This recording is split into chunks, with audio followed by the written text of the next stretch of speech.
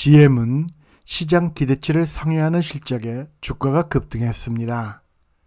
GM은 작년 4분기 매출액이 429억 8천만 달러에 달했고 이는 컨센서스인 388억 900만 달러를 웃도는 규모입니다.